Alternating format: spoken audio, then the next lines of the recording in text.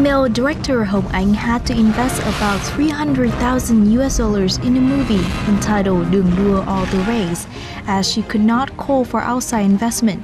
According to her, it is hard to gain investors' trust.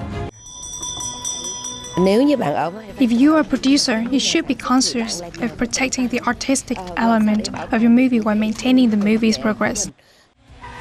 Producer and actress Thu Trang seemed to be brave and willing to take the risk when she announced the project Chị 13 or the 13th Sister after the success of the web drama.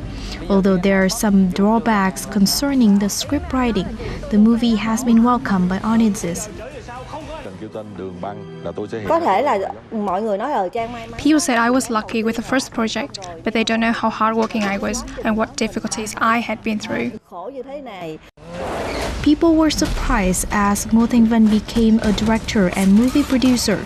Only when Hai Phượng or Furie was released and it gained success, Ngô Thanh Vân's reputation as a producer was recognized. Ờ, khi được phát hành ở nước ngoài và được mọi người đón nhận mong rằng nó sẽ được I hope this movie will be welcomed in foreign markets to show that Vietnam can also produce such a film. Để hiểu hơn về Việt Nam Although there are only a few female movie producers, they still make great contributions to the Vietnamese movie market as great hidden talents in Vietnam.